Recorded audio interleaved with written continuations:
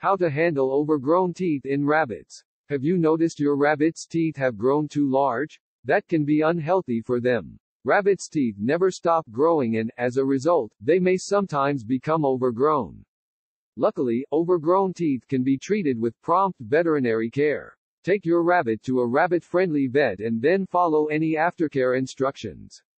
To prevent overgrown teeth, feed your rabbit a healthy diet and provide it with objects to chew. Seeking veterinary care. Watch for signs of overgrown teeth. The most obvious sign of overgrown teeth will be that your rabbit's teeth are longer and more tusk-like than usual.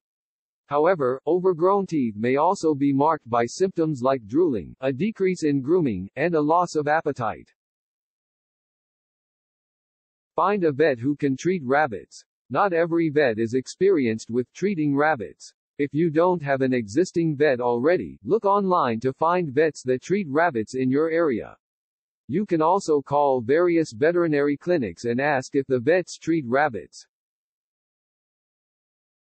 Have your vet perform a complete exam. Once at the vet's office, your vet will examine your rabbit, paying close attention to their teeth.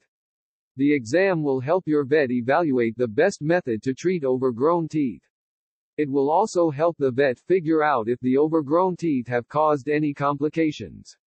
Usually, the exam will only be physical. However, if your vet suspects complications like an infection, blood work may be necessary. Extremely overgrown teeth may require X-rays. Usually, the exam will only be physical. However, if your vet suspects complications like an infection, blood work may be necessary. Extremely overgrown teeth may require X-rays. Let your vet trim your rabbit's teeth. Overgrown teeth can usually be trimmed with a file or a small rotary tool.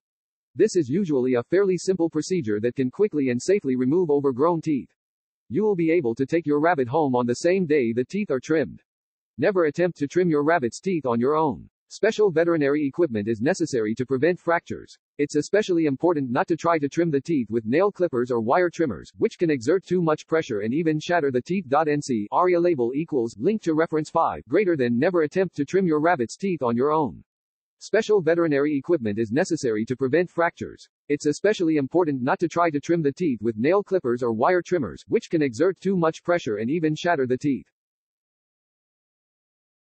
Have surgery in extreme cases. Surgery is rarely necessary to treat overgrown teeth, but may be necessary if overgrown teeth are caused by congenital problems or trauma to the mouth. Your vet may need to surgically remove or adjust your rabbit's teeth. This procedure is more expensive and your rabbit may need to stay at the vet's for a few days after the procedure.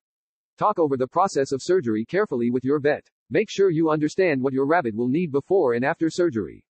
Depending on your rabbit's age and overall health, things like blood work may be necessary prior to surgery. Talk over the process of surgery carefully with your vet. Make sure you understand what your rabbit will need before and after surgery. Depending on your rabbit's age and overall health, things like blood work may be necessary prior to surgery.